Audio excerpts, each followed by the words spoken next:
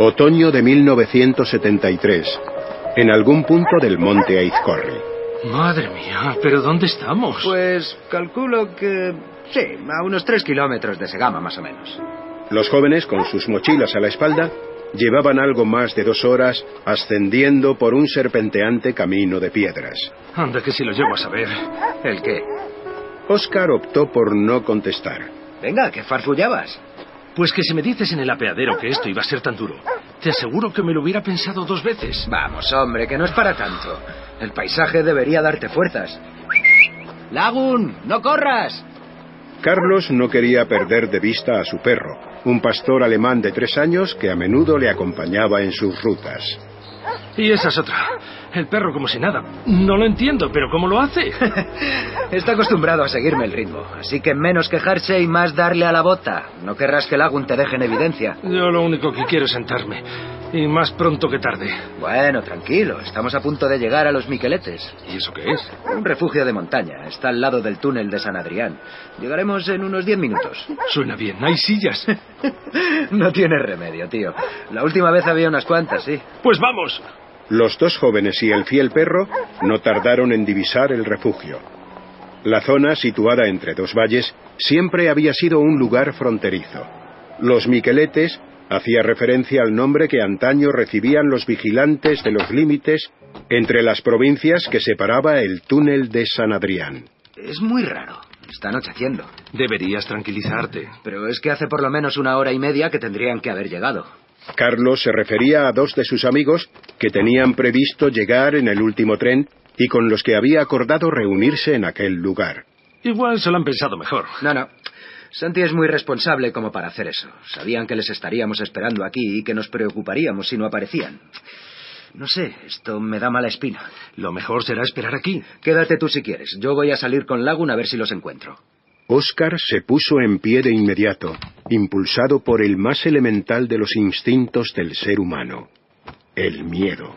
¿Qué dices? ¿Estás loco? No te preocupes. Me conozco estos montes como la palma de mi mano. ¿Me vas a dejar solo? Venga, no va a pasar nada. Si fueras tú el que estuviera ahí, seguro que querrías que alguien saliese en tu busca, ¿a que sí? No estaré fuera más que un par de horas. Más te vale, porque yo no sé cómo salir de aquí. Llévate la linterna. No hace falta, hay luna llena, se ve perfectamente. ¿Y tú eres el experto? O coges la linterna o no dejo que salgas por esa puerta. Vale, vale, vale. ¡Vamos, Lagun! Oscar observó cómo las dos figuras, cuyos contornos se iluminaban tenuemente en la noche, avanzaban por la senda de la montaña hasta perderse de vista. El joven, temeroso, cerró la puerta de madera y la aseguró bloqueándola con una silla. Carlos avanzaba con paso firme. En el valle reinaba un absoluto silencio, una calma que sin embargo se iba a romper en un instante. ¿Qué te pasa, chico? El perro se había detenido en un recodo del camino. Lagun miraba fijamente una zona de matorral. Lagun, ¿qué has visto, socio? Carlos alcanzó a distinguir cómo las ramas de unos arbustos cercanos se agitaban nerviosamente. Vale, ya lo veo. Hola chicos, ¿sois vosotros? Venga, no me hagáis esto. El joven se agachó y tanteó el suelo en busca de una piedra. Con más temor que determinación, la lanzó con fuerza contra las ramas. ¡Oh, por Dios, qué susto! Te parecerá gracioso, ¿eh? Eres un alarmista. Ni que fuera la primera vez que ves un caballo. Anda, vamos. Bueno, ¿y ahora qué pasa? No recuerdo que haya ninguna torre de alta tensión por aquí cerca. Fue entonces cuando Carlos se dio cuenta de que hacía varios metros que estaba caminando solo. ¡Lagun! El perro se había quedado unos metros atrás. La tenue luz le permitió distinguirlo en un punto del camino. ¿Otra vez? ¿Qué estás viendo ahora? Vamos, chico. Lagun, no me hagas ir a por ti. El montañero volvió unos metros sobre sus pasos, hasta el lugar exacto donde Lagun permanecía inmóvil. Una sensación de pánico le atravesó el pecho al descubrir que los ojos de su perro, siempre expresivos y chispeantes, habían dejado de reflejar la luna. En ellos solo había oscuridad. ¿Pero qué? Lagun, ¿qué te pasa? Muévete, socio. Lagun. El desconcierto se apoderó de Carlos al comprobar que su leal amigo se había convertido en una especie de estatua. Su mueca era rígida y no había en ella el más mínimo rastro de vida. Estaba petrificado. Carlos, Carlos, ¿eres tú? Begoña, Santi, Carlos, nos hemos perdido. ¿Qué haces aquí? No lo sé. No sé qué le pasa a Lagun. No sé qué tiene. Habíamos salido a buscaros y de repente... La joven, estudiante de veterinaria, descolgó su mochila de inmediato. Carlos, pásame tu linterna. Espera, ni siquiera sé dónde la tengo. Con la luna llena se veía bastante bien. Espera, ¿qué luna llena? Ahora se ha cubierto, pero hasta hace dos minutos el camino se veía perfectamente. Los jóvenes se miraron confundidos. ¿Qué os pasa? Carlos, no hay ninguna luna llena. Estamos en cuarto creciente. Nosotros hemos podido llegar hasta aquí alumbrándonos. ¿Pero qué dices? Te aseguro que... eh, mira, ahí la tienes otra vez. Los montañeros alzaron su vista en la dirección donde Carlos apuntaba. Las nubes, moviéndose lentamente, dejaron a la vista una majestuosa esfera de luz, perfectamente redonda, que inundaba el monte con una suave luminosidad. Es imposible. De repente, la esfera comenzó a desplazarse hacia la izquierda de la bóveda celeste. Eso... Eso no es la luna. Un fogonazo de una luz intensa alcanzó de lleno a los tres jóvenes, que quedaron momentáneamente cegados por el impacto. ¡Despertad! ¡Eh! ¡Despertad! ¿Pero qué hacéis aquí, en mitad del camino? ¿Qué, qué hora es? Las siete y algo. Lagun apareció ladrando sobre las cinco en el refugio. Ha sido él el que me ha guiado hasta aquí. Pero... ¿Dónde? Decidme que vosotros también la habéis visto. La, la luna. ¿Qué luna? ¿De qué habláis? Yo me refería al disco enorme. ¿Disco? Sí, era gigantesco, tío. Al principio creí que era un globo, pero giró 90 grados y salió disparado en aquella dirección. Era algo sólido, eso seguro. Empezó moviéndose muy despacio, pero al cabo de un minuto cogió velocidad. Venga, no me digáis que os lo habéis perdido, pero se ha sido hace un rato. ¿Lagun está bien? Perfectamente. ¿Por qué no habría de estarlo? Anda, que si no llega a ser por él, está hecho un valiente. Pero bueno, ¿me vais a explicar qué os ha pasado?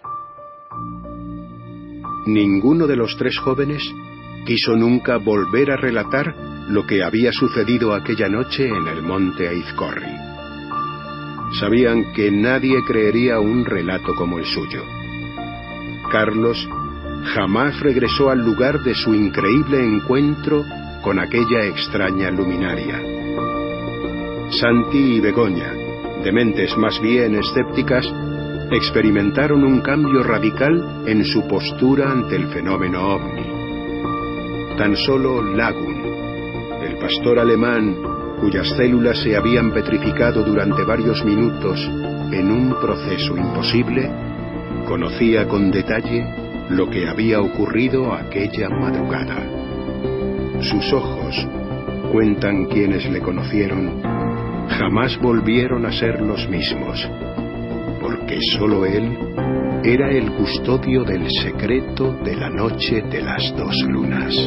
Siempre la idea de las dramatizaciones, aparte de que es algo sugerente, que no dé vueltas a la cabeza, ¿qué pasó en aquel tiempo perdido, entre comillas, con aquellos montañeros del monte Izcorri? Es una parte que ha dramatizado, que ha recreado, que ha eh, literalizado nuestro compañero Diego Marañón en su guion, pero el caso original, el caso que da, digamos, eh, idea matriz para luego poder expresar a nivel casi poético esta sensación del monte, lo que pudo ocurrir, es gracias a José Luis Guillerna Grijalva, cuando lo conoció la comunidad ufológica. Hablamos de hace más de 40 años prácticamente el suceso, 42, y a final de los 70 esto aparece en la mítica eh, revista Mundo Desconocido, principios de los 80. Andreas Faber-Kaiser y Alejandro Beñati, que ponían unos titulares escandalosos y maravillosos, ponían bajo la sección el problema número uno de la ciencia moderna, era una especie de, digámoslo así, antitítulo que acompañaba a la información ovni, que era la principal de aquella gran revista, una revista que os aconsejo que si veis en algún lugar de, de viejo, llamáis el misterio, os apoderéis de ella, cueste lo que cueste, porque aún hoy creo que lo hacemos todo lo que tenemos esa revista, completa, uno indaga en artículos y se sigue sorprendiendo. Es como si la mítica y mágica colección de Mundo Desconocido fuese hasta variando. Había cosas que uno pensaba que, bueno, no interesaban tanto, las vuelve a releer. Es el trabajo de los pioneros, ¿no? Pues José Luis Guillerna Grijalva hacía un artículo sobre la primera parte de esta aparición y el titular era el siguiente: El perro que se quedó de piedra. Y es que este avezado investigador eh, hizo otros reportajes como Cita en Álava y como digo, ese final de los 70 fue en la zona del norte de España muy activa. Había muchos montañeros, sigue habiéndolos, ¿no? En el País Vasco hay una gran tradición, pero resulta que, en aquel momento se juntaban dos cosas. Em, esa afición puramente deportiva o lúdica, o filosofía de vida, y luego incluso se fue acrecentando con un interés de salir al monte a ver las estrellas y a ver si había algo más que las estrellas.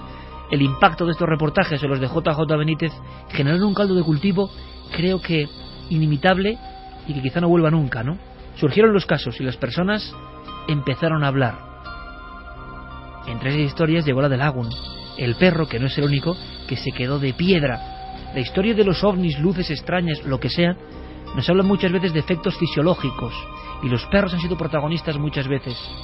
Recuerdo ahora no muy lejos de allí, en el año 81, en el mes de junio, un trabajador de la Caja de Ahorros de Vitoria, cerca del pueblo de Ajarte, llegando casi a Ochate, ve algo muy parecido a este caso, saca su cámara de fotos, pero justo antes se da cuenta de una señal y es que su pequeña perrita se ha quedado como una estatua, como una estatua de piedra. En aquel reportaje, Guillerna, que tenemos en, la mesa ahora mismo, decía textualmente lo siguiente, o más bien lo decía el testigo. Cité al perro dos o tres veces más, con idéntico resultado. Entonces se me ocurrió agarrarle de la parte superior del cuello, donde la piel es más consistente, para tirar de él y que saliera de la posición de muestra. ¿Cuál no sería mi sorpresa al comprobar que aquello no era un perro? Era una estatua. No se notaba el tacto ni el pelo del animal. Todo era como una roca. Permanecía firme sobre sus cuatro patas, con el hocico pegado a tierra. Intenté agarrarlo de nuevo, pero no podía. Normalmente, si me pellizco, por muy tenso que yo esté, siempre consigo agarrar mi piel, músculo, lo que sea. Pero al perro era imposible hacerle esto. Estaba totalmente duro. Entonces me asusté, pues vi que allí sucedía algo raro. Muchos casos donde los animales son los protagonistas de esta historia, pero pocos con esta historia tan gráfica, ¿no? El perro que se quedó de piedra. Eh, yo decía, ¿qué ha pasado con este tipo de luminarias hoy? ¿Siguen apareciendo? ¿Siguen existiendo? Hay un mito muy extendido, que tenemos móviles, tenemos vídeos, tenemos capacidad de grabación y como que ellos, sea lo que sean, ese fenómeno ha perdido importancia, ha perdido vigencia. Le he encargado a Carmen que haga una cosa que me puede parecer interesante y quizá vosotros también. En un solo día, en las últimas horas, si uno vaga por el mundo, porque claro, la información es tan amplia hemos perdido perspectiva. Vamos a los mismos sitios, buscamos las mismas noticias, somos presos de la misma cárcel virtual, creyéndonos libres, al final hacemos recorridos muy similares. Pero ¿qué está pasando en el mundo en un día en cuanto a los ovnis? Hoy, enero 2015, en la frontera entre enero y febrero, ¿qué pasa en un día en torno a los ovnis hoy? Pues mira, por ejemplo, ocurren hechos que, como bien decía que al llevar teléfonos móviles que tienen todo tipo de soportes para poder grabar tanto en vídeo como en fotografía, se pueden obtener eh, filmaciones como la que ha obtenido un, eh, un vecino de los bosques de Rendlesham, en Inglaterra. Mítico lugar, Santi, ¿eh? Estaba paseando con su perro por esa arboleda y lo que se encuentra son tres grandes luminarias, tres grandes bolas de luz que además eh, van después perseguidas por un helicóptero. Un helicóptero hace acto de presencia y parece que están jugando tanto el helicóptero como las luces. Pero hablamos de hoy, por tanto. Sí, sí, estamos hablando de informaciones que han salido hoy. Los vídeos pueden ser de hace dos o Sí, tres sí, días, sí, pero las informaciones Han llegado hoy. han llegado hoy. Como si yo, yo muchas veces la Gaceta del Norte, del Correo, del Norte Express, del Pueblo, como si cogiésemos la portada de un periódico y combinásemos la sección eh, OVNI Experiencia Ujú. y le hiciésemos hoy en el 2015, ¿no? ¿Qué nos encontramos? Pues curioso, de- de momento un lugar donde ya en el 80 hubo un caso tremendo con militares. Mm. En Missouri, además, eh, este sería un caso de los que llamamos eh, cercano, porque el testigo asegura que cuando iba en su automóvil ha visto un gigantesco disco volante que sobrevolaba por encima de su cabeza. Ha dado todo tipo de detalles, que era metálico, que parecía reflejar las luces e incluso que le ha perseguido durante unos metros. En México, esto han sido cámaras de seguridad que ya sabéis que los volcanes en algunos lugares se controlan durante 24 horas. Pues aquí ha ocurrido. Eh, en el volcán de fuego de Colima se ha podido grabar un aparato un tanto extraño porque ya se está hablando del caballo eh, ovni de Colima. Es decir, es un objeto volante que parece que tiene una serie de patas, por eso eh, la gente que estaba viendo las imágenes que se han emitido ya además en, diversos medios porque son impresionantes.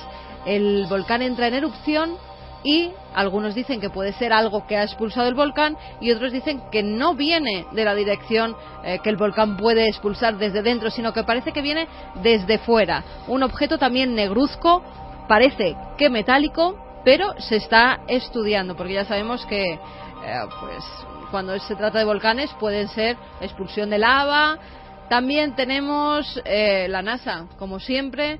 Hay un asteroide, el B686-2004, que, bueno, pues los ufólogos están un tanto enfadados con la NASA porque han dicho que las imágenes que se han emitido parecía que llevaba un rombo al lado de este asteroide y lo que ha dicho la NASA es que puede ser una luna del asteroide, que hay muchos asteroides que tienen una luna 2 y 3 incluso a su alrededor y que esta puede ser una de ellas. Se ve perfectamente que es una especie de puntito romboidal que hay junto al asteroide.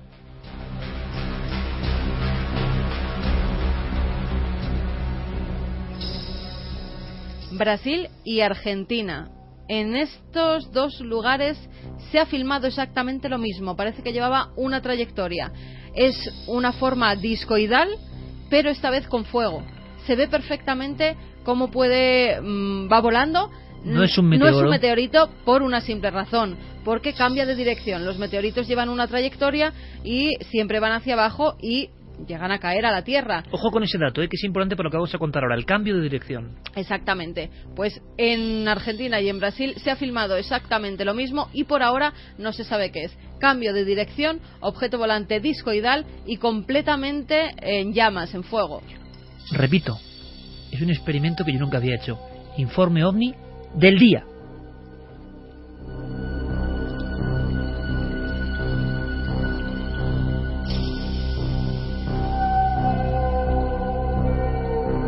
Por tanto, casos destacados en prensa, con filmaciones, con elementos gráficos, casos cercanos. Missouri, Reino Unido, Rendlesham, México, Brasil, Argentina. Hay que preguntarse, por tanto, y me gustaría abrir el debate, por lo menos escuchar a nuestros amigos y escucharos a vosotros.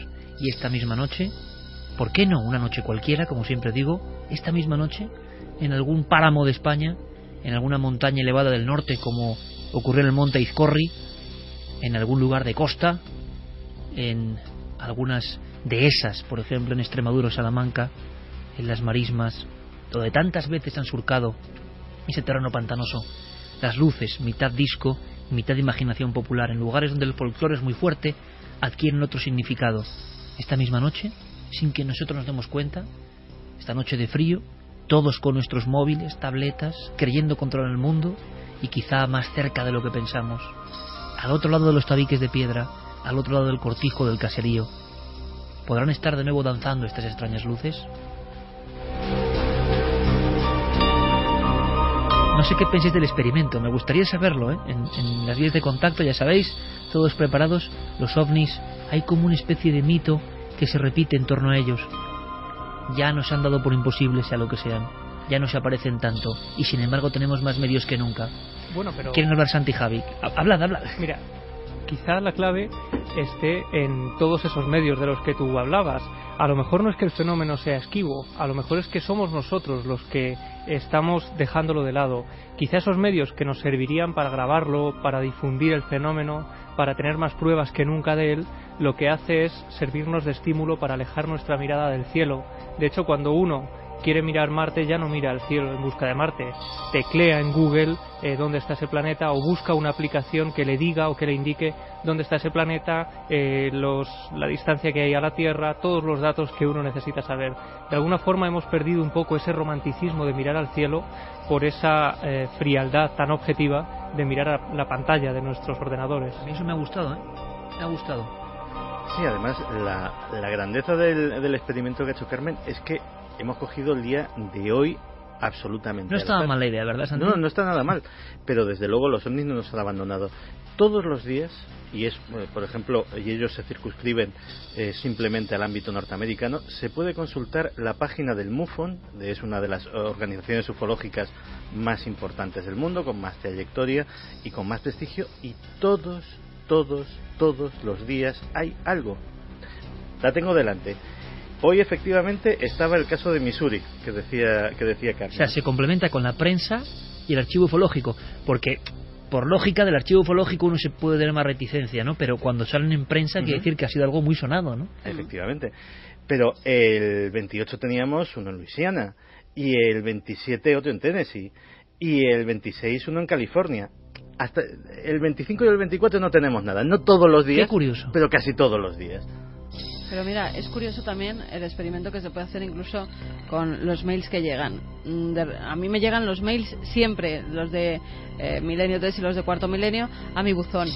Y eh, personas que no se conocen de nada, en días concretos, de repente te empiezan a llegar que han visto un montón de objetos volantes no identificados. Luego hay semanas que no llega absolutamente nada. Con lo cual algo están viendo, algo está ocurriendo. Y son personas que no se conocen para nada. Y esos son testimonios, lo que decía Santi, son testimonios de personas que con su teléfono móvil han logrado captar esa imagen, que con su eh, teléfono móvil o con su tableta han logrado grabar un vídeo. Con lo cual es que gracias a esa tecnología también se está teniendo día a día informes con material fotográfico o de filmaciones que antes no se tenían. Antes simplemente estaba eh, el testimonio de la persona. Lo que pasa es que parece que no interesa tanto a nivel mediático. Claro, es que precisamente ahondando en la idea que comenta Carmen, yo iba por ahí mi reflexión, ¿no? Es, eh, nosotros hemos tenido muchísimos casos en los que únicamente contábamos con el testimonio de los testigos y con la buena fe de ese testimonio si es que se les quería creer o la mala fe directamente descartarlo. Pero ahora, ¿qué pasa? Que tenemos una saturación de información. Los que nos dedicamos a esto y tenemos mm, eh, puestas alertas eh, con la palabra ovni, UFO, etcétera, eh, recibimos numerosos casos a, a lo largo de- del mismo día. Es decir, pueden haber muchos avistamientos, muchas informaciones. Que con por supuesto muchos de ellos habrá que descartar, eso Exacto. queda clarísimo, ¿no? Que muchos tendrán un objeto, eh, digamos, común, natural, pero habrá un porcentaje, por tanto, que quizás siga siendo Claro, pero ese es el, quizá el problema, que hay eh, muchas filmaciones, muchas fotografías, es decir, lo que antes no había. ¿Y qué ocurre? Que eh, son a veces tan es- estrafalarias las informaciones que llegan, por ejemplo, como esta del volcán, ¿no? que parece difícil creer que un objeto puede acercarse tanto a un volcán que está en, en- en- en erupción, ¿no? Eh, que no sé si es que se ha, se ha creado una especie de corriente de escepticismo con relación, dando como poca importancia a este tipo de casos que nos van llegando a Fijaos diario. curioso, Clara, compañeros. Eh, hay un fenómeno de saturación gráfica. Cuando uno ve las revistas del gremio u otros lugares que se limitan a recopilar los casos, a la cuarta imagen de un puntito en el cielo, uno ya evidentemente por saturación ha perdido el interés, ¿no?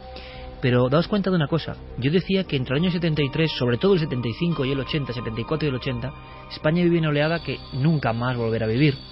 Hoy con alguna visita que teníamos de buena gente de Córdoba, que está trabajando bien las cosas, gente que se mueve, parece que hay un renacer cultural del patrimonio inmaterial, de lo desconocido, de los temas que tocamos en Milenio. Es evidente y nos enorgullece, hay un renacer a nivel de instituciones, de interés en las rutas, de interés en mostrar estas cosas. Bien, pero ha habido mucho tiempo de un páramo absoluto.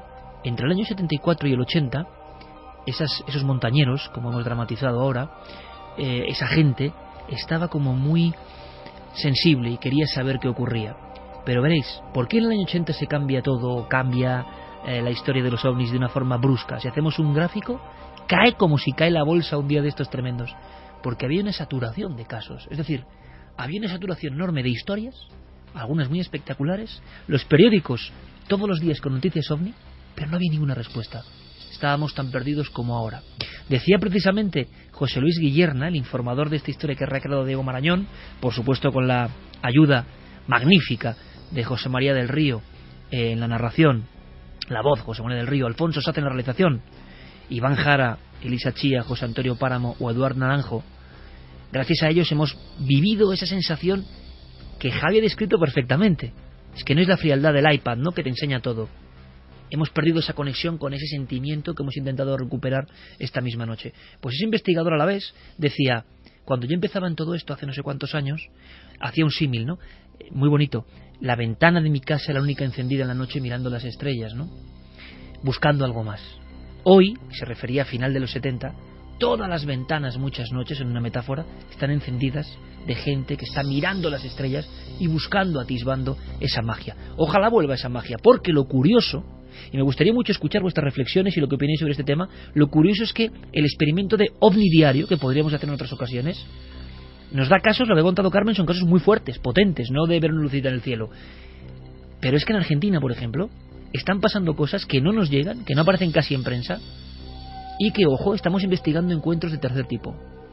Yo espero que nuestro compañero eh, Hildebrandt, nuestro buen amigo, esté atento y pueda proporcionarnos información sobre algunos casos, Fernando Silva Hildebrandt, sobre algunos casos que se han producido, hablo de los últimos meses, semanas.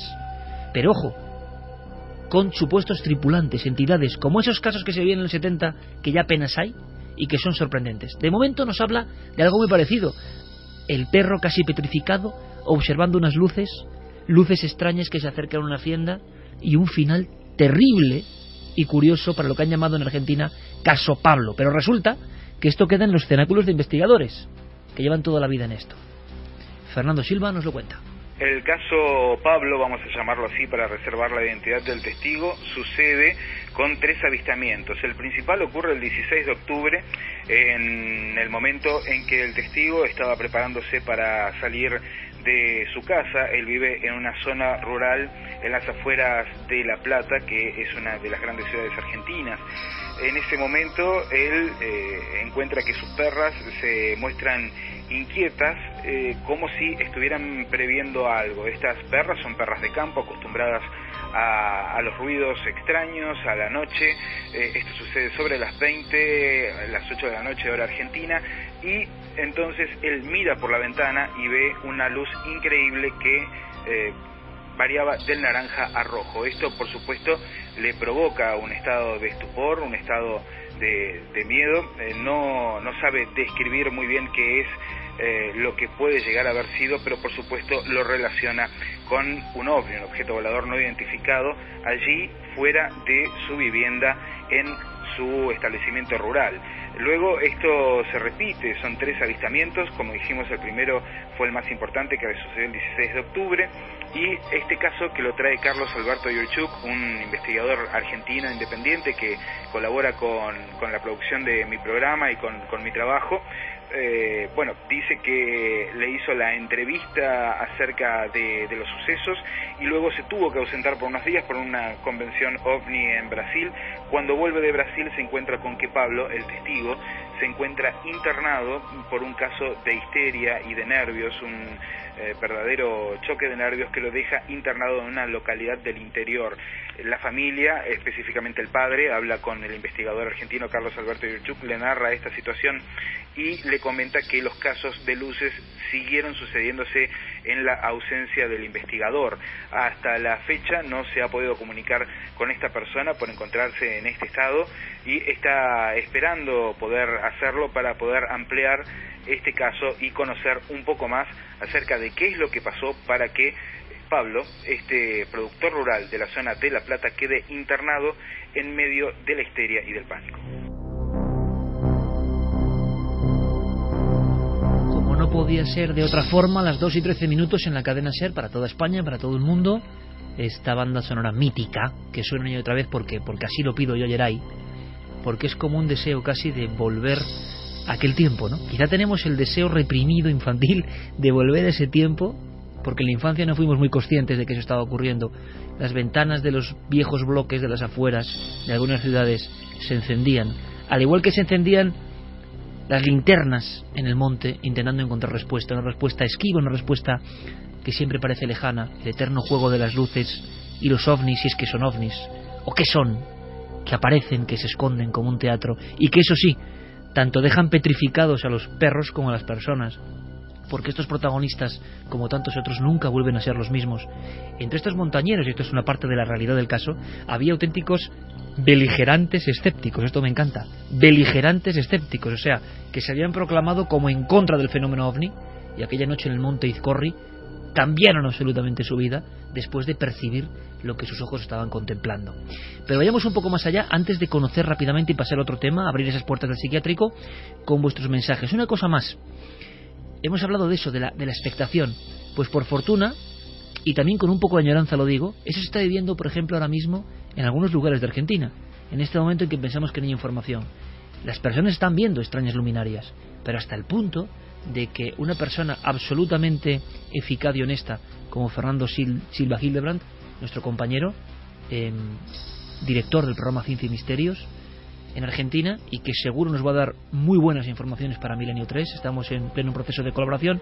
Él mismo, una de estas noches, como buen investigador, ha visto una de esas luces que están llamando la atención en la zona del corazón de Argentina. Ahí estaba. Y sobre todo, como ha dicho Carmen antes, con un elemento concreto. A ver si descubrís el elemento. Hay una cosa que pasa con las luces en el cielo que es lo que nos tiene que hacer pensar en que estamos viendo algo extraordinario, algo extraño, algo que no es normal.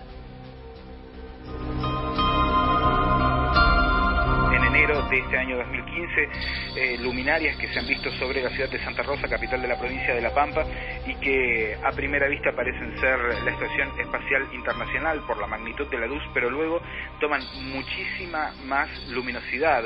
Uno de los testigos lo comparaba con las luces delanteras de un avión, las luces de aterrizaje de un avión cuando se encienden, eh, pero el punto importante es que estas luminarias de pronto cambian su trayectoria de manera brusca en el aire, haciendo ángulos de entre 45 y 90 grados, lo que descarta que sean satélites. En mi caso particular me ha tocado ver uno hace aproximadamente semana y media en el patio de mi casa, mirando las estrellas aproximadamente a las 21.30 horas, que ya está anocheciendo, mm, pude ver una de estas luminarias que avanzaba sobre la ciudad de Santa Rosa, capital de la provincia de La Pampa, y que de pronto se detiene en el aire y cambia de dirección con unos 90 grados. De esta manera se descarta que sea un satélite, que sea la Estación Espacial Internacional o incluso que sea un objeto volador conocido, ya que ese tipo de giros es totalmente imposible.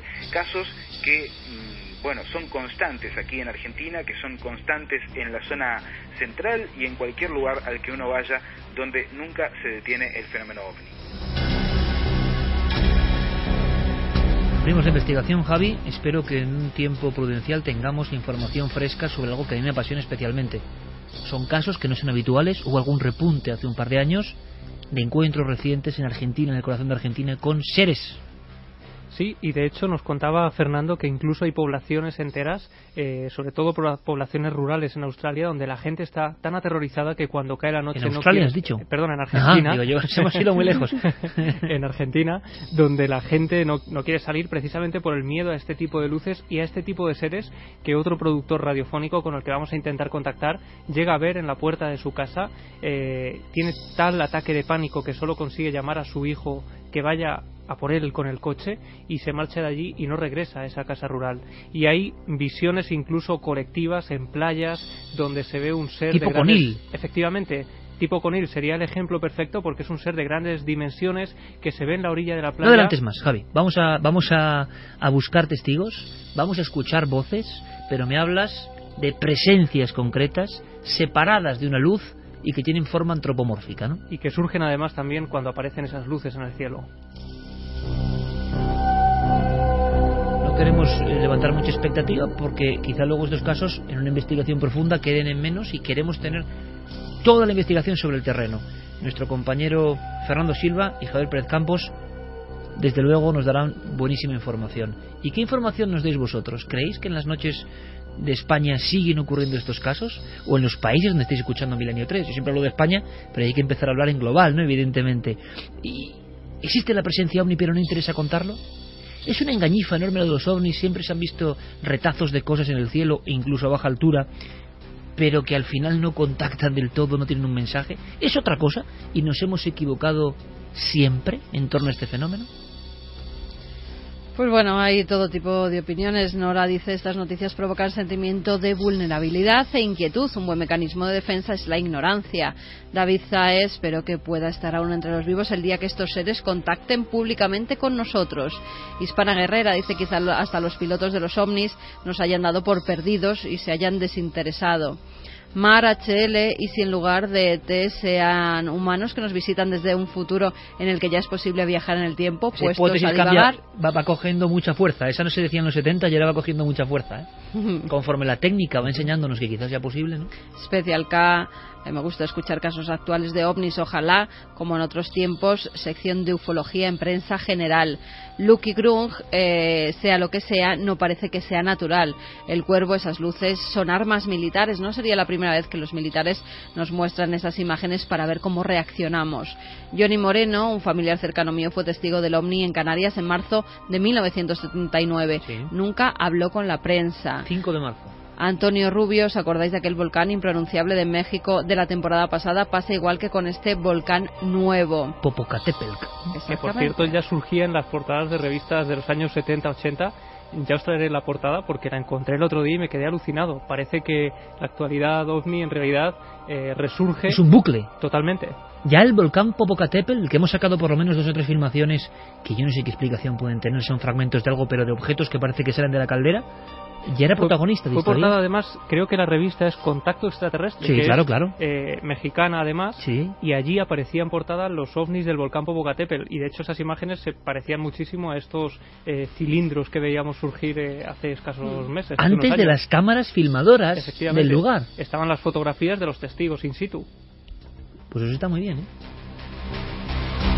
Porque en los últimos tiempos las cámaras de vigilancia y ya se habla de eh, bases ovni no en los volcanes. Bueno se habla hablar se habla de todo porque a veces también recibes el información. problema de, las filmaciones en las de México por ejemplo en el en el volcán es que algunas de ellas no eran que saliera de la del volcán sino que entraban en el volcán que era lo, lo, extraño. Suena un poco raro, pero lo que sí es extraño es que mm, las, las grabaciones, podemos pensar, y les hemos, hemos analizado todo eso con la visión del hombre digital de hoy en día, con los amigos de imagen, que es qué puede pasar en esta imagen que parece que hay algo.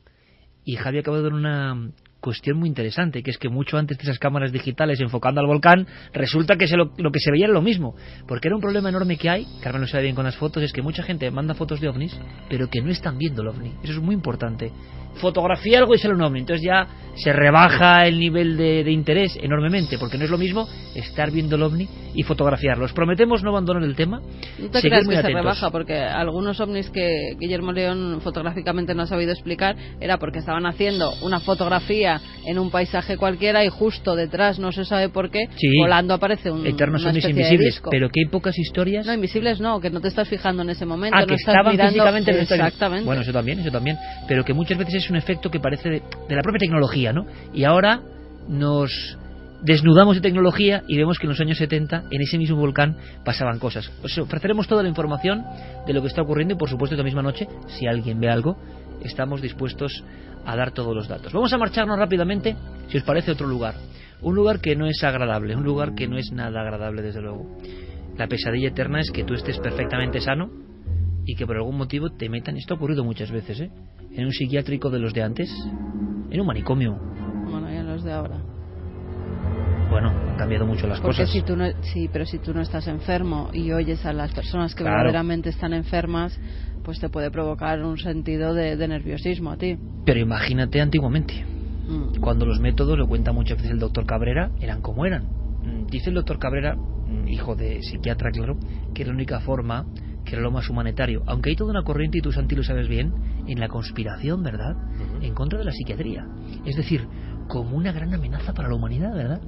Hay mucha gente que hace campaña, como el que hace contra los chemtrails, contra la manipulación en los alimentos. Esto es curioso porque no lo hemos hablado y da para un tema. ¿eh? La conspiración de la psiquiatría. Yo no lo digo, ¿eh? lo dicen los conspiranoicos. Deberíamos hablar incluso de dónde viene el origen de esa campaña.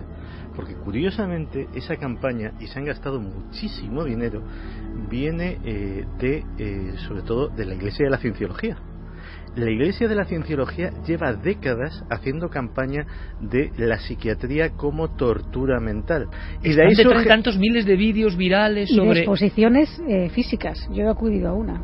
En contra de la psiquiatría como gran amenaza para la humanidad. Sí, además una exposición que se hizo en, en pleno barrio de Salamanca, en, en un edificio bastante caro de alquilar. Qué curioso, porque me ha llamado mucho la atención, ¿no? Hay conspiraciones como de vanguardia, que siempre están ahí, pero hay una, y si uno indaga ve enseguida los vídeos y... La conspiración del dominio mental, prácticamente, ¿no? Con una serie de pautas. Bien, el eterno terror, claro, yo me refería, pues imagínate a los psiquiátricos o manicomios de principios de siglo, o a los que ya retrató Goya, pero lo contaba muy bien la película El intercambio, ¿os acordáis? Qué terrible era aquella mujer, caso real, que le devolvieron un hijo desaparecido que no era su hijo y le hacían creer que era su hijo. Angelina Jolie entrando dentro del psiquiátrico. Es que ahora nosotros, y si nos acompañáis, aunque sea de visita, entramos en un viejo psiquiátrico.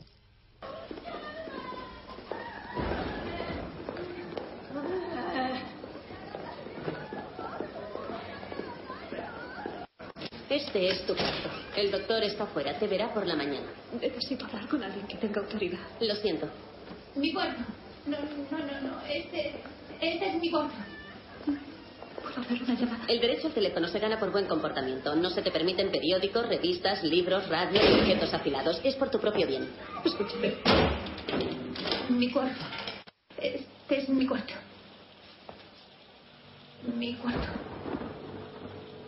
No, no. Este es mi cuarto. Mi cuarto. Mi cuarto. Mi cuarto. Mi cuarto. Mi cuarto. Dijeron que era mi cuarto. La compañera de celda, las toallas mojadas, los electroshocks. Eso era una inocente, era alguien que estaba perfectamente sana. Le había engañado la autoridad.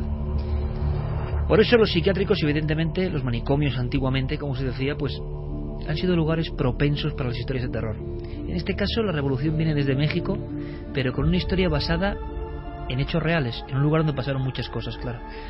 Sí, porque el 5 de febrero, es decir, la semana que viene, se estrena en México la película Archivo 253. Una película que nos trae a colación la historia de un viejo edificio situado en la Ciudad de México que tiene una historia bastante curiosa tras de sí, pero bueno, es que incluso en esta misma película han pasado cosas, es decir, que ahí se entremezcla un poco las, las dos historias, ¿no? la, la real y la de la filmación de la película. Mm, La verdad es que lo curioso es que esta, esta película se ha ido a rodar precisamente a este lugar, a la clínica psiquiátrica San Rafael, que estaba situada en la Avenida de los Insurgentes Sur, eh, 4177. Y bueno, pues la historia de por qué se va a ese lugar, el propio director, eh, Abe Rosenberg, la, la explica. ¿no? Él acudió a esta clínica para echar un vistazo con vistas a otro proyecto que tenía en mente eh, realizar allí. Lo que pasa es que eh, al visitar el edificio se da cuenta de que va a ser demolido próximamente, ¿no?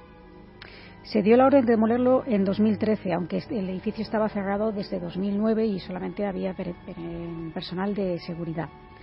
Entonces, claro, al ver que tenía muy poco tiempo para realizar el proyecto original, decidió darle la vuelta a la historia y plantear una historia de terror que se pudiera rodar dentro de ese mismo escenario, aprovechando eh, esa situación en que estaba cerrado al público, pero que tenía que ser justo antes de que se demoliera, obviamente.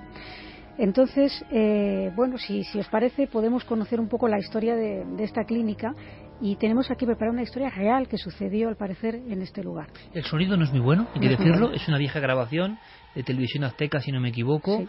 eh, tiene ya unas décadas y no se escucha muy bien, pero sí que tiene algo de bizarro y dramático. Es un reportero que cuenta algo a las puertas de ese lugar y es un paciente que, como le pasaba a Angelina Jolie en el intercambio, fue metido ahí a la fuerza sin estar enfermo. Tiene su fuerza. Vamos a escucharlo.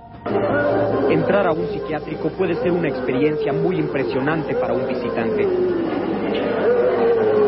Sin embargo, el visitante sabe que puede salir. Pero ¿qué pasa cuando alguien que asegura que no está loco es internado a la fuerza aquí? TV Azteca visitó a Mario, quien pasó por esta situación cuando solo tenía 19 años. En 1980 yo era un adolescente que quería salirme de mi casa. Eh, de alguna manera mi madre no le, no le gustó la idea. Ella recurrió a un médico que se ostentaba como psiquiatra. Este médico, sin conocerme, sin haberme visto siquiera, me diagnostica enfermo mental. A solicitud de la madre, los médicos irrumpieron una noche en casa de Mario. Lo sedaron y se lo llevaron a la fuerza a la clínica San Rafael. Cuando despertó, Mario estaba amagado en una Bartolina. Según cuenta, allí recibió un tratamiento que apaciguaría su rebeldía. 20 sesiones de electrochoques en un periodo de 38 días y 7 días de gasoterapia. Con esto Mario olvidó hasta su nombre y si bien se tranquilizó, terminó terriblemente dañado física y moralmente. Entré en estados de depresión, entré en, en estados de suicidio, yo me quería matar porque ya no resolvía nada. Mi cerebro, como era de adolescente de 19 años, había quedado como de 10.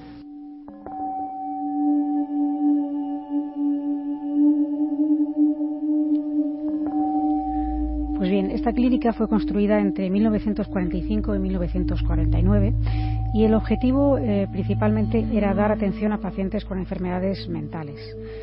En 1969 se amplió la clínica para poder albergar hasta 200 enfermos y en 1998 se decidió dar cobertura a pacientes con esquizofrenia y psicosis con bajos recursos económicos. Sin embargo, eh, parece ser que las prácticas que se realizaban en el interior de, esta clínica no eran ortodoxas mm, ni tampoco era la praxis se distinguía por, una, buena praxis.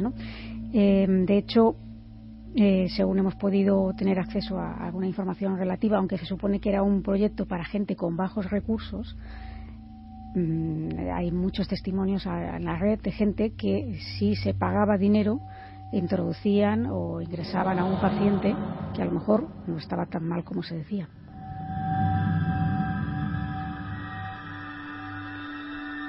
El proyecto estaba financiado con fondos mexicanos y franceses, bajo la dirección de médicos especialistas del Hospital Santa Ana de París y de la institución Monte Albán de México.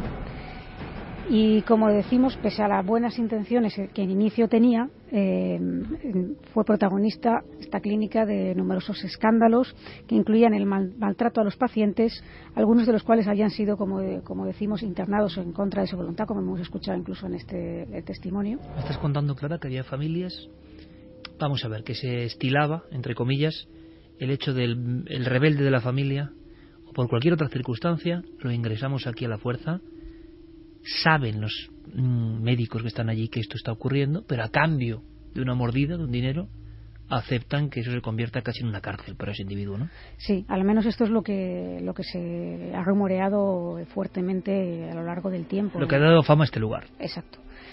Y, bueno, pues aparte de esto, también se, se comenta que se realizaba excesivos electroshocks. Es decir, era, mm, se habla incluso de, que del 10% de los electroshocks realizados en México se realizaban en esta clínica, que además era una clínica mm, gestionada por la Orden Hospitalaria de San Juan de Dios. Y, bueno, pues parece ser que gracias a la opinión pública, a numerosos testimonios que se fueron destapando, a reportajes tanto en televisión como en prensa, pues de repente en 2009 eh, fue cerrada al público sin que se dieran demasiadas explicaciones, un poco por la puerta de atrás. Y en 2013 es cuando se ordena la, demolición y es cuando el director de esta película se interesa por, el lugar. Da la impresión clara, a esta altura de la historia, que es una especie de boom como el que ocurre en España con los bebés robados, ¿no? Es una historia larvada durante generaciones, está pasando, y el escándalo de repente salta por una comunicación en la prensa, y entonces empiezan a tomar medidas. Hablamos de ayer mismo, 2009. ¿Qué ocurre? ¿El director se interesa por este sitio? Sí, se interesa por este lugar porque además, mm, no solamente, aparte de la historia terrorífica en cuanto al trato humano que se daba a las personas allí ingresadas, eh, no cuento con eso, este lugar tiene, mm, a partir de que se cierra al público, es decir, antes de la demolición, pero bueno, hay, hay un servicio de seguridad se empiezan a comentar cosas en petit comité que van al final saliendo a la luz pública. ¿no? Por ejemplo, el personal de vigilancia eh, denunciaba que eh, sucedían fenómenos extraños en el interior del edificio, como por ejemplo la aparición de presuntamente espectros vestidos o tanto a veces como, como mm, si fueran enfermeros del lugar y otras veces como si fueran pacientes que vagaban por, por el inmueble. Otras veces eh, se escuchaban, por ejemplo, el sonido de, movimiento de, muebles que parece que, se arrastraran, ¿no? algo que es muy frecuente también en, en, los casos de presuntas casas encantadas. La audición de gritos en lugares donde no había nadie y cosas por el estilo que tenían un poco atemorizados a los vigilantes.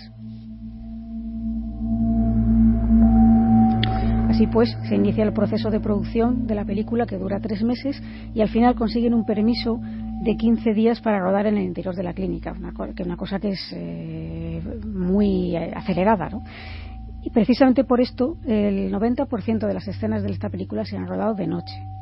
Y hay que tener en cuenta que al equipo que se le mete, especialmente a los actores o gente de producción o gente que está, no tenía ni idea al principio de que este fuera a ser el proyecto y es la primera vez que entraban en, este lugar y encima conociendo la historia. O sea, no podemos decir aquí que la parte de su gestión pues no haya tenido cierto peso, pero lo, cierto es que eh, aquí tenemos, bueno, que el equipo pasaba muy malos, muy malos momentos hasta el punto de que el propio mm, director ha explicado lo espeluznante que fue rodar durante esos 15 días allí dentro y lo atemorizado que estaba todo el equipo, ¿no? Por ejemplo, a veces se les olvidaba alguna parte del equipo, algo que un componente que no era excesivamente valioso y mm, había alguien que siempre se ofrecía a pagarlo con tal de no ir a buscarlo a ese lugar en concreto, que se había quedado perdido en un pasillo o lo que fuera, ¿no? Eh, también mm, hay zonas de la clínica que, bueno, pues notaban, se les ponían los, pelos de punta solamente por transitar por algunos de esos, de esos pasillos y que el equipo era quizá, el equipo de rodaje era de los más unidos que se conocen, ya que ninguno quería trabajar solo ¿no? allí. Mm, durante un recorrido nocturno por el viejo hospital, algunos de los miembros eh, dijeron que no querían volver a trabajar de noche, que lo pasaban muy mal, porque habían escuchado, eh, por ejemplo, el ruido de un mueble como caía y después de caer se arrastraba varios metros. Como os pasó a vosotros en Navamoral, por ejemplo, en la comisaría de policía. Mm, pues me has quitado el pensamiento de, la mente, porque estaba yo precisamente acordándome de, esto, ¿no? Que, que, fue un poco. Gran estruendo, grabado incluso, mueble pesado que se arrastra donde no hay nadie y ¡pum! Como una señal, quizá una advertencia que no sabemos interpretar bien, ¿no? Escuchamos un sonido, pero igual es una advertencia de algo, ¿no? Pues no, lo sabemos, pero lo cierto es que estos sonidos se van a poder escuchar muy pronto en, Cuarto Milenio, porque precisamente hemos estado haciendo eh, nuestra criba de, grabaciones y esos estruendos que nosotros no oímos sí quedaron grabados.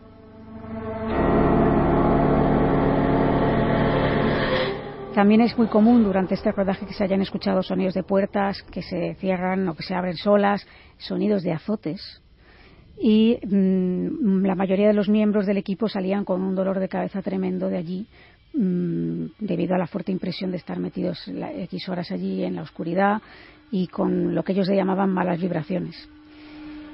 El propio director eh, opina que en un lugar que ha habido tanto sufrimiento y tanta, tanto dolor, algo residual puede haber quedado en, en el inmueble y una de las actrices, concretamente Ana Ceti, por ejemplo, sufrió un bajón emocional en un momento determinado del rodaje porque eh, encontraron unos expedientes y entre ellos pues había un expediente con unos dibujos y unas pruebas médicas que correspondían a una persona que había asesinado a sus padres y esto pues le produjo tan malestar que dijo que ya no quería seguir filmando.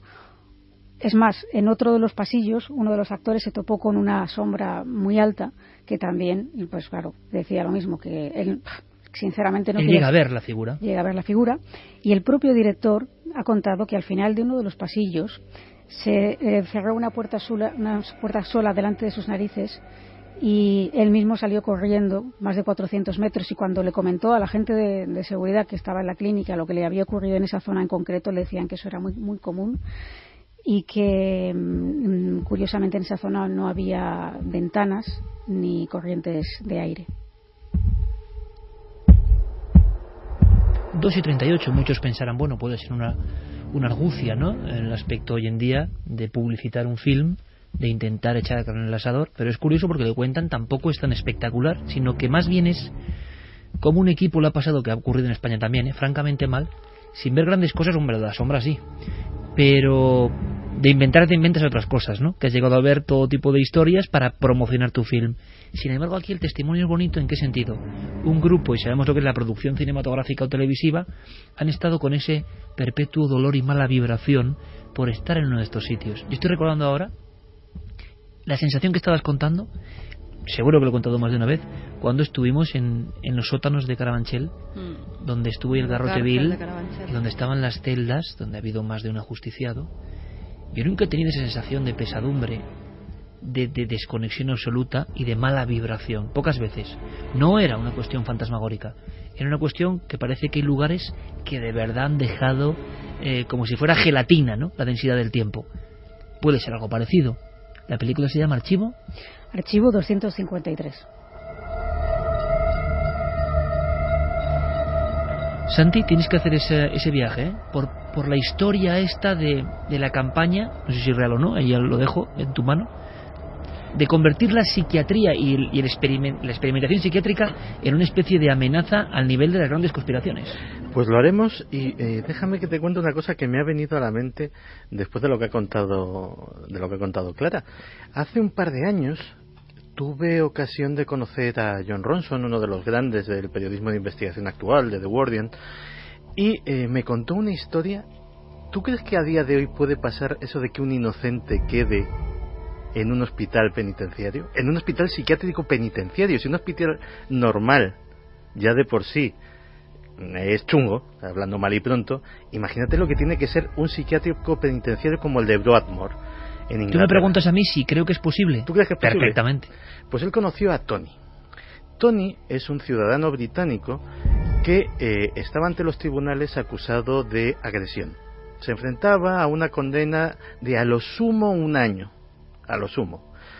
Y no tuvo otra feliz ocurrencia que fingirse loco para eludir esa condena. Acabó en Broadmoor. Sigue en Broadmoor. Lleva muchos años en Broadmoor y no consigue convencer a los médicos de que todo fue un- una invención. Dicen que es un psicópata y que como tal psicópata tiene una capacidad de engañar y de fingir y de hacerse pasar por sano que no es normal, con lo cual cada petición de escarcelación año tras año está siendo denegada. Vaya pesadilla, ¿eh? Eso sí que es una pesadilla. Sí, ahora todos hemos conectado con esa historia y seguro la audiencia también, ¿verdad? Vaya pesadilla. Pero por cierto, Clara, uno de los miembros de ese equipo, de esa película mexicana, de este lugar que hemos conocido ahora gracias al breve viaje, ahora iniciamos otro pero hacia las alturas, hablaba de una sombra. Una sombra gigantesca, una sombra que le causaba espanto. Vámonos a la montaña. Hemos hablado antes del efecto llamada, nos gusta mucho cuando ocurre esto y nos ocurre habitualmente, sinceramente. Cuando uno de vosotros, valientes de cualquier gremio, de cualquier eh, ámbito, viene a Cuarto Milenio y cuenta una historia, no es en sí por esa historia, sino por el bien que está haciendo para que otros vean que se toma con total naturalidad, con honestidad y que muchos más que han compartido la vivencia. Eh, uno de los alpinistas más importantes del mundo, Carlos Pauner, una gloria aragonesa, vino a contarnos algo Cuarto Milenio. Y a partir de ahí hemos ido indagando un poco más. Sabíamos del tercer hombre y de alguna historia con españoles. Y vamos conociendo más y más y más. Y la que viene esta noche es espectacular porque entre la frontera de la pura alucinación y algo más, hay un concepto diferente que Javi nos va a contar. Pero recordamos, ¿queréis saber, por si os perdisteis ese caso, qué nos contaba a grandes rasgos, cuál era el momento álgido de la experiencia de ese hombre que ha coronado todos los ocho miles, Carlos Pauner? O sea, la primera visión del Serpa son unos 400 metros. Cuando me acerco ya no está el Serpa, pero veo otras figuras. Y están a 10, 15 metros. Y me, me acuerdo porque les veo el arnés, les veo las cintas de escalada, los mosquetones. Son gente que va vestida igual, igual que voy yo, vamos. Que decir que no es que no es que vayan de otra manera, no, no, son, escaladores. Estaban subidos a las paredes, es decir, esa especie de corredor de hielo, pues había uno, pues, ya son muchos, ¿eh? no, no es que son dos o tres, veo cuatro o cinco o seis, y unos están a un lado y otros están al otro.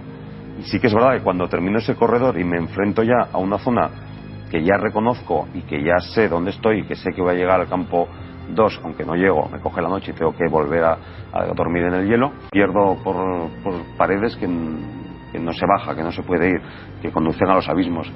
Entonces realmente es un momento clave y es cuando más bajo de moral estoy. Y esa figura del Serpa me, hace recordar, me da el clic y me da la ilusión. En un momento entre la vida y la muerte, cuando se dejaba prácticamente y se abandonaba hacia el más allá, una especie de sherpa fantasmagórico le indicaba el camino para salir. Al salir, unas figuras extrañas, parecidas a las que vio esta mujer, que nos vas a contar su historia, Javi. Sí, y que ocurrió en el año 2010.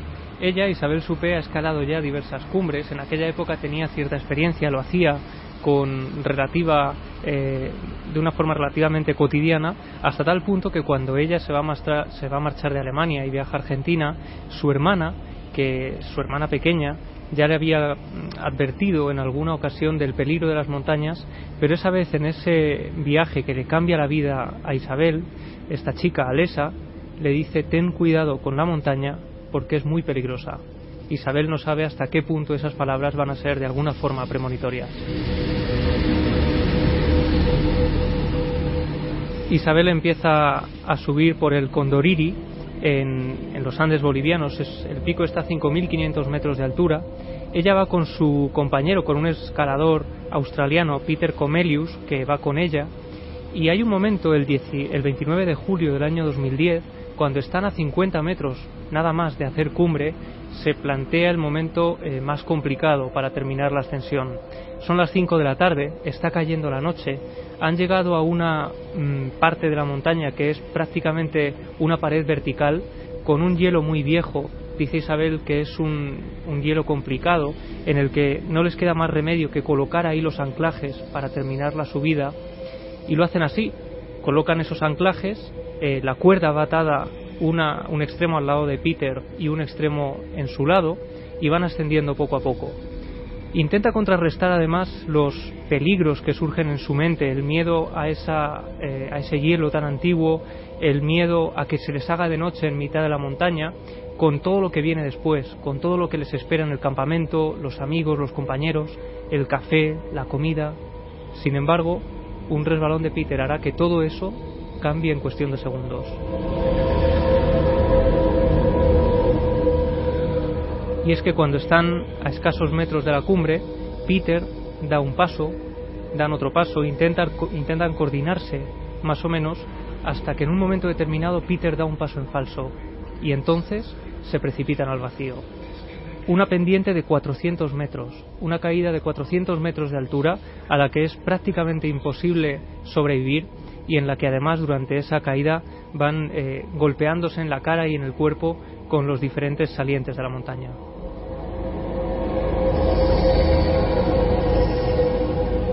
y en cuestión de segundos el cuerpo de, de, Isabel y el cuerpo de su compañero Peter impacta contra el suelo, es un choque brutal y Isabel nos cuenta, recuerda perfectamente cómo esa caída de 400 eh, metros fue como eh, un tiempo que no terminaba nunca.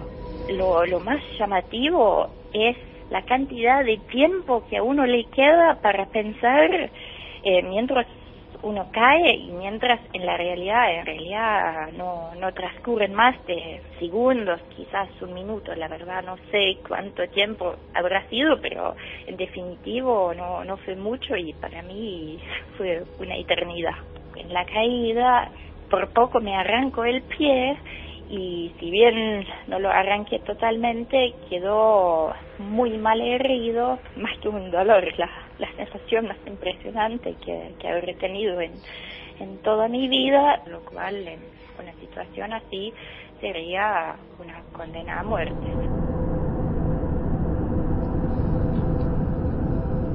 Cuando vuelve en sí, Isabel piensa que ha muerto, que ha despertado en el reino de los muertos, que es imposible haber sobrevivido a una caída así. Sin embargo, cuando empieza a incorporarse y tiende eh, gran parte de su peso sobre sus pies, nota que uno de ellos no le responde. Ella dice que es como, como una especie de masa escurridiza que no le obedece. Lo que Isabel no sabe y sabrá días después es que en el interior de la bota los huesos se han salido del pie, el pie se ha convertido en una masa, eh, solo pende el talón de, esos, eh, de esa pierna y de alguna forma la vida se le va escapando por la sangre que está perdiendo.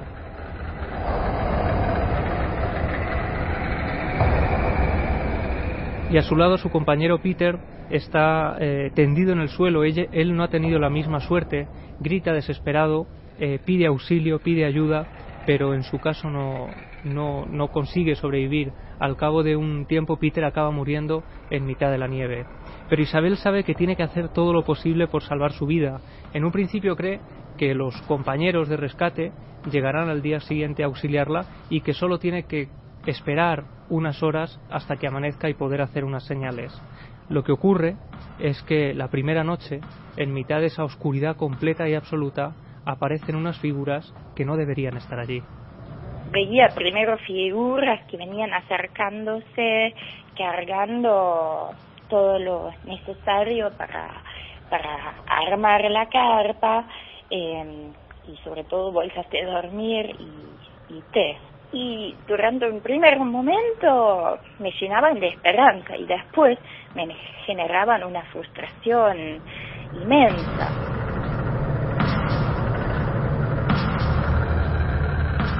Y no solo eso, sino que Isabel Supé, como cuenta en su libro Noche Estrellada, donde relata toda esta experiencia con gran detalle, cuenta que esas figuras oscuras la invitan en un momento determinado a meterse dentro del saco de dormir, donde ella estará más caliente, donde podrá descansar, y sabe, inconscientemente, que si hace eso, que si entra en uno de esos sacos, que si se decide a dormir, lo hará para siempre y no despertará. Esto es muy curioso porque revisaba el testimonio de Carlos Pauner y Carlos Pauner antes de la aparición de esas figuras encaramadas en el hielo, ¿sabéis lo que contaba? Que una voz, una voz que le escuchaba, le decía descansa, duerme, déjate llevar. No merece la pena el sufrimiento. Algo, alguien, él mismo, está dejándose vencer. Hay una especie de voz interna o externa, no lo sé, que te obliga, por la decisión que sea, a abandonarte. Es curioso porque es lo mismo. Sí, ella cuenta además que lejos de hacerla sentir acompañada o de hacerle sentir tranquilidad, ella sentía cierta inquietud cuando veía estas figuras. Esto es un caso único en el tercer hombre, si es que es esto, ¿eh? ¿verdad? Siempre provocan paz, eh, ánimo, ganas de, de salir de allí y este caso nos sorprende porque le produce una gran angustia a la visión. Claro, porque eh, a su vez cuando estas figuras de pronto desaparecían, igual que habían aparecido de manera repentina, lo que producían en, ello, en ella era una total desesperanza.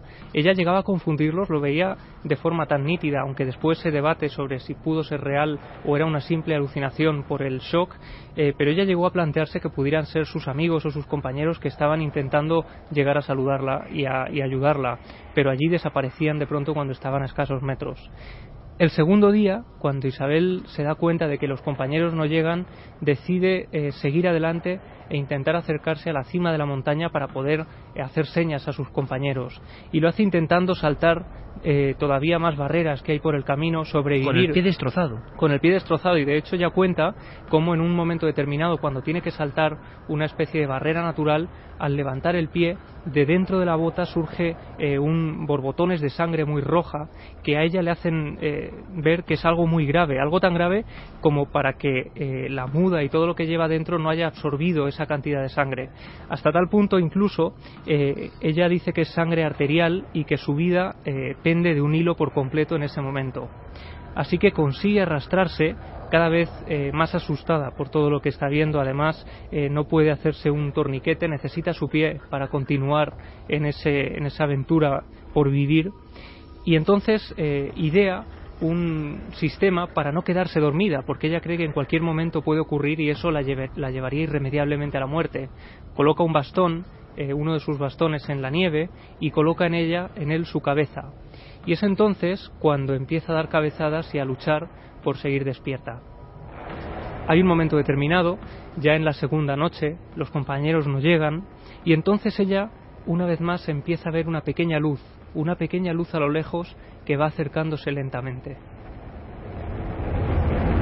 Y cuando me despertaba y volvía a ver el filo, veía unas figuras que caminaban por el filo y eran figuras así como uno vería en la en, circunstancias normales a una figura humana lejana que se viene acercando por un, filo de montaña em, con la, única iluminación de, las estrellas. solo que después se iban deformando porque les crecían las piernas y los brazos. Ella desangrándose, sea shock o no, o el shock le provoca una visión de algo real, yo no lo sé. Y unas figuras por el filo de la montaña, mira que he escuchado cosas, ¿eh? Por el filo de la montaña, esta pobre mujer que está desangrándose, van unas figuras que va viendo cómo se deforman los brazos y los pies las piernas y los brazos. Y en ocasiones van incluso en comitiva. Ella los ve en principio uno a uno, solitarios, caminando por el filo de la montaña, pero después llega a ver a varios de ellos juntos y acercándose a ella, deformándose poco a poco. Pero los ve eh, estando despierta. Y lo que ocurre es que en un momento determinado ella ya empieza incluso a retrotraerse a momentos felices de su vida. Eso que dicen de que cuando estás a punto de morir tu vida pasa por delante de tus ojos y recuerdas los momentos más felices. Pues eso empieza a ocurrirle a ella, empieza a recordar cosas que le gustaban en vida, cosas que le encantaban, todo en la soledad de esa montaña. Sin embargo, las figuras continúan surgiendo eh, en la lejanía, en la soledad de ese lugar, acercándose a ella y transmitiéndole esa sensación de inseguridad. Vamos a escuchar de nuevo a Isabel relatándonos por qué estas figuras eh, le producían esa desesperanza. En los momentos de lucidez empecé a pensar en esas alucinaciones como una especie de imagen enemiga, porque me daba cuenta que, que la esperanza que ellos me infundían eh, me, me, me, agotaba, o sea, la esperanza y la frustración que seguía esos momentos de, de esperanza, sobre todo eh, al principio, cuando a cada vez que veía una figura, trataba de, incorporarme, de pararme sobre mi, mi pie bueno y hasta les hacía señales de luz y gritaba y todo eso me hacía gastar el poco calor que me quedaba y me, me agotaba.